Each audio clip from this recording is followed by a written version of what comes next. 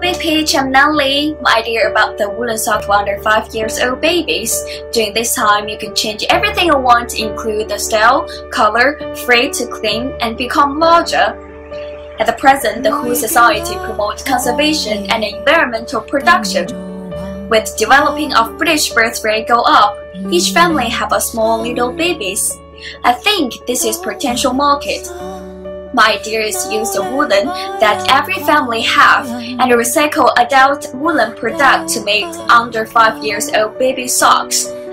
Each socks handmade by retired people not only recycle product but reduce to protect a productive environment. At the same time, flexible retired people's fingers can um, exercise their brain and reduce Alzheimer's disease and necessitate their life as well. This is my big page. Do you like it?